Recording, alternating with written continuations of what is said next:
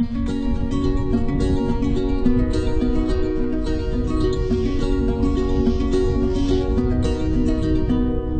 get up again and again.